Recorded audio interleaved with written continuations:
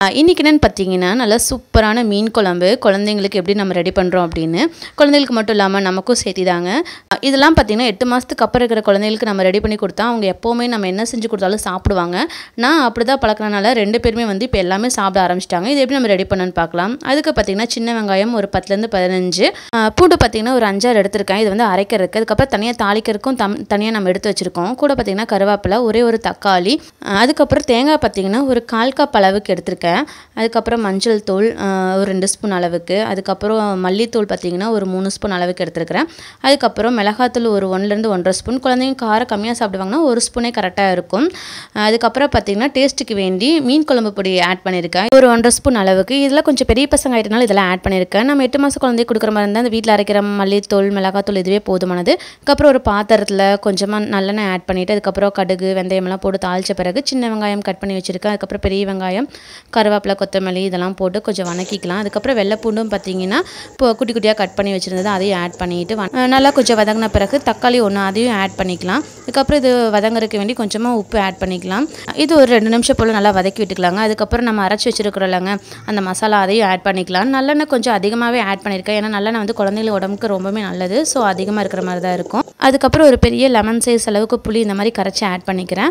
இது நல்லா இந்த பச்சை வாசலாக போகிற அளவுக்கு நல்லா மூடி போட்டு கொதிக்க வைக்கலாம். அதுக்கு தேவையான உப்பும் போட்டுக்கலாம். இப்போ பார்த்தீங்கன்னா நல்லா கொதிச்சிருச்சு. இப்போ நம்ம கழுவி வச்சிருக்கிற மத்தி மீன் தான் நான் ஆட் பண்ணுறேன் எந்த மீனெல்லாம் ஆட் பண்ணலாம்.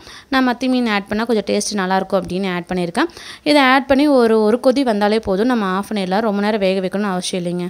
கவிஸ்தா கவிதா பார்த்தீங்கன்னா வந்து நான் வைக்கிற குழம்பு நல்லா இருக்கா அப்படின்னு டேஸ்ட் பண்ணி பார்க்குறது அவர் தான் ஃபஸ்ட்டு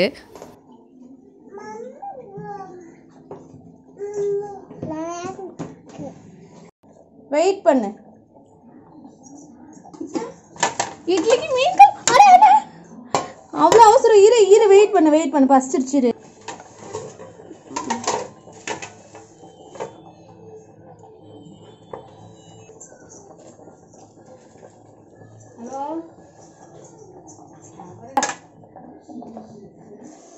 சூடு சூடு சூடு. நட பார்த்து அம்மா கொண்டு வர நட.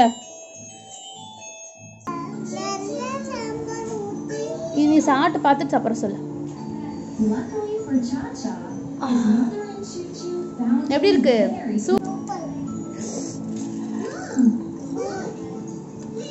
Oh,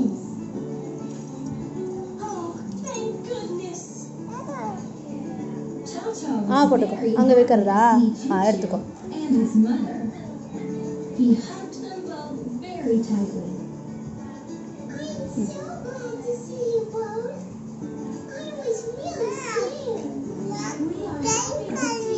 ना नहीं इंगे वेकर नहीं एड़ सापड़े आ जाचुम एड़ सापड़ सामी